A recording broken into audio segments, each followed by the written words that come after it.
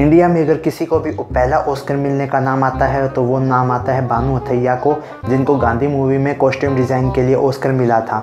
फिर उनको 2012 में अपने दिमाग में ट्यूमर के बारे में पता चला तो उन्होंने वो ऑस्कर का जो वोट था, वो लौटा दिया, ताकि उनके मरने के बाद वो सेफ़ रहे।